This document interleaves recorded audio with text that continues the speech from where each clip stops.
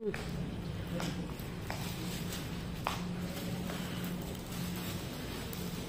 nag-shopping po siya.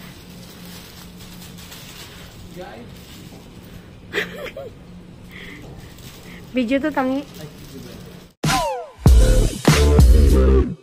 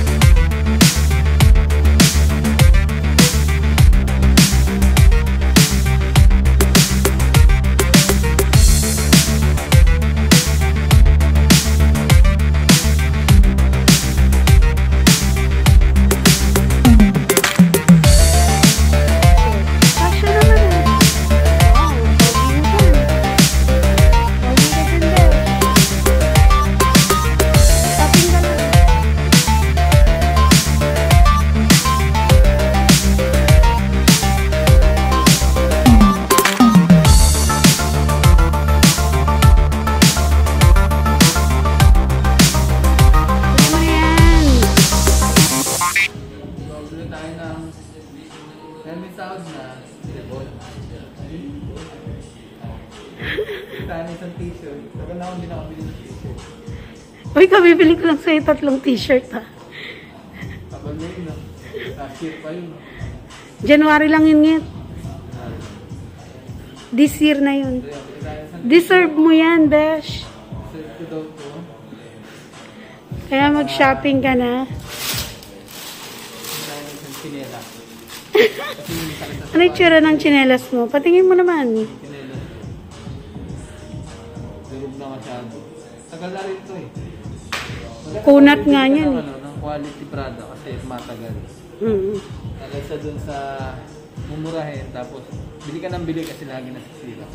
So, quality over quantity tayo. Yes. Para si Joey De Leon lang. Mm, Sige, pogi ka dyan.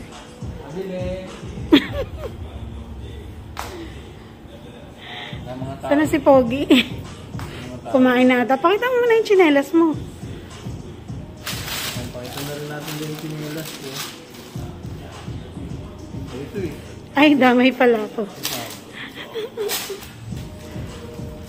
yung aking bagong slipper.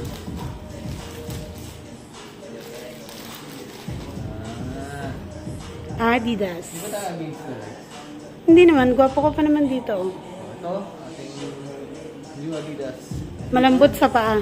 Lambot sa paa, masarap sa paa. Hindi mo ma-unbox kasi naka-plastic. Nga, dapat un-plastic. Unplastic. Patawagin mo na yung ano, yung nagtitinda. Ano ba yan si Pogi? Nawawala. Babalik ko to.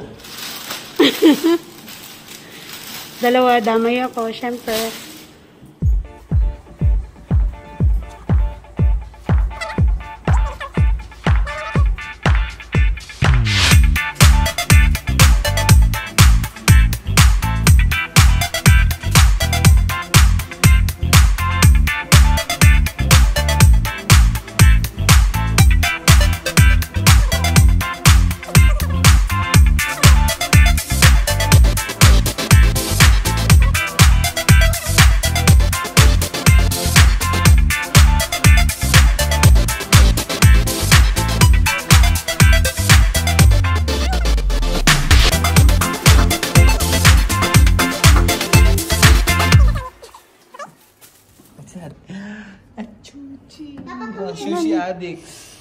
Hmm.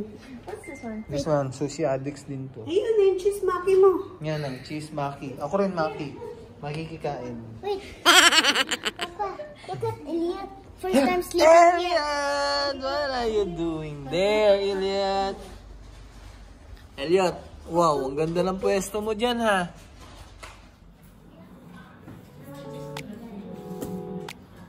Ay, So, what's up guys? Uh, welcome back muli sa ating channel, Kichong TV. So, galing naman ng Wahoo.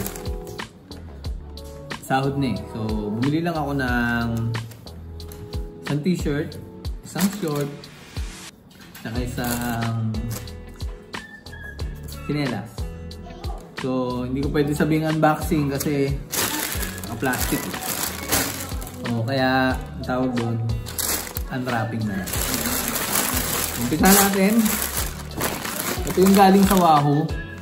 Um, kasi wala na, hindi, may short pa ako kaya lang ah, yung isa kong ginagamit na madalas kong ginagamit yung kulay pula eh, para may kapalitan lang.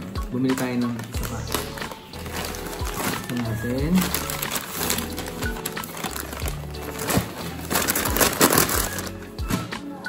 Ito yung binili ko. Kulay blue na short.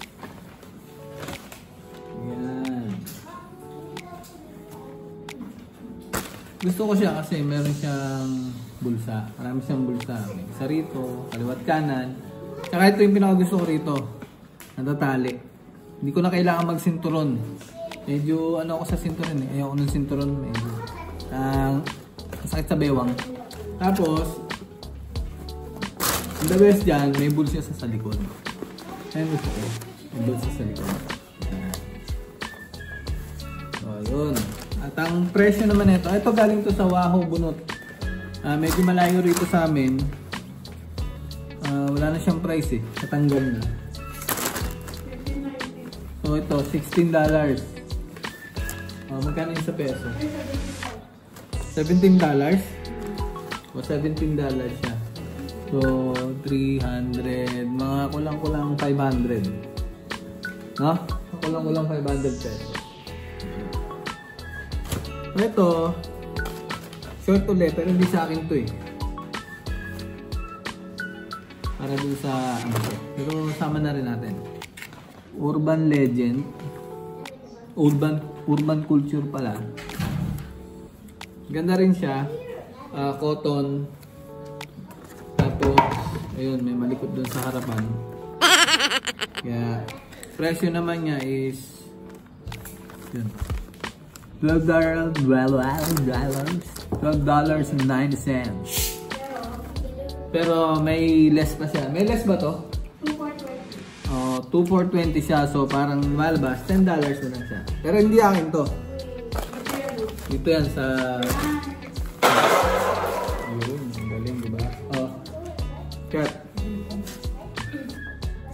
This is yours. Pang bahay mo doon ng short sabi ni mama.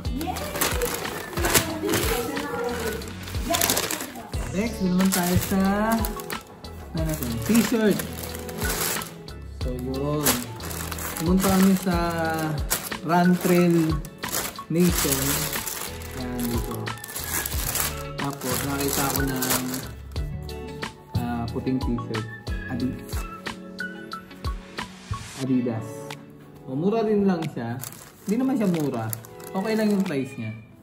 Ah, yun, kita nyo. Kano yan? $49. So, 50 $50 na siya. Gusto ko kasi kasi simple lang siya. Maganda yung kulay. Green. Medyo green and gold. Tapos, maganda yung size niya sa sakto siya. So, suotin natin to sa ano. Pag pagka magbakasyon tayo. Pagka maka, pwede na pwede na tayo magbakasyon sa Pinas. Ano na tayong damit. So, malamang ma-arbor din ito doon. So, yun. Ah, ito ang presyo niya is 50 $50. dollars. So, mga 1,700 pesos sa Pilipinas. Ha? 1,900. So, almost 2,000 pesos.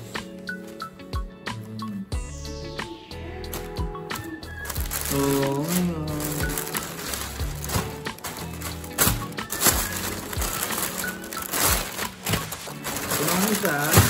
kasi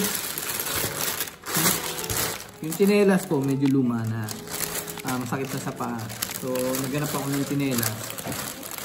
Uh, bumili na rin ako. Siyempre, doon na rin sa Adidas kasi nandun na rin ako kanina. eh. Nakita ko naman siya, masarap masarap sa paa. Uh, tinan natin.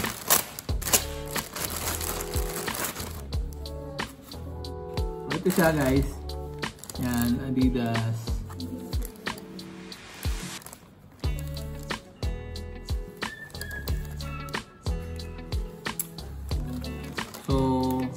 Size 8 siya. Kasi size 8 ako, siyempre. At maganda sa kanya ito, kita niyo to. Yan oh. Sobrang lambot tsaka ang sarap sa paa. Kasi minsan sa- madalas sumasakit na yung paa ko eh. Yung may edad na kasi. Hmm. Kaya tawa ka dyan. So yun, so kailangan ko ng medyo maganda-ganda tsaka medyo malambot-lambot na sapatos. Lalo na pagka nagyaya silang maglaboy. Siyempre, hindi ko na kayang maglakad ng masyadong matagal kaya kailangan ko to. Wala pa Rayuma. So, ito naman, ang presyo nito is 55. So, ito almost mga 22. 2,200 pesos sa Pilipinas. So, medyo may kamahalan pero okay siya kasi quality is the best policy. Quality, mas maganda yung quality kaysa sa quantity nga. Kasi kung quality maganda, matibay. Pero pag quantity, bibili ka, tapos masisira lang agad, bibili ka lang ulit, di ba? So, ganun din, gagastos ka ng gagastos, sayang pa yung pagpunta-punta mo dun sa store. Kaya, kasi yung last na sinelas ko, um, paikuha nga yung sinelas ko. So, ito yung sikulas, luma kong tsinelas. Kilala niyo si Kulas? Ayan, yan si Kulas. O, durog na siya eh, ano. Masakit na siya sa paa kasi matigas na. Pero, buhay pa. Kasi matibay. So, ganun talaga. Mas maganda talaga pagka qual- quality yung bibili nyo kasi ah, tatagal talaga siya. So, ito talaga, kita nyo mukha na siyang luma. Pero, pwede pa. Tibay pa. Hindi pa ako pinahiya nito. Ayan o. So yun guys, kaya tayo bumili na ng bago nating tsinelas. So yan, gagawin na lang natin pambahay. Tapos ito, ito na yung gagawin natin pang lakad natin, mga araw-araw. Siyempre, dahil bumili ako ng tsinelas ko, meron ding nakid sabay. Oo, di ba? Para daw, ano kami, pairing daw kami. Para daw hindi mapagkamala na para hindi maitanggi na jowa ko daw. Dalawa kaming bumili. Same price. Pero maliit yung size niya, siyempre. Discounted naman yan. Yan. So, dalawa kami. Yung misis, meron din isang para sa kanya. Binili ko na rin kasi naawa naman ako. Diba? Yun sa akin. So, yun guys. Yun lang ang aking i-unwrap ngayon. Maraming salamat sa mga nagtsagang manood at kita-kita ulit tayo sa next video. Maraming maraming thank you. Pag-like and subscribe ang aking channel, Ichong TV. Mabuhay po kayo.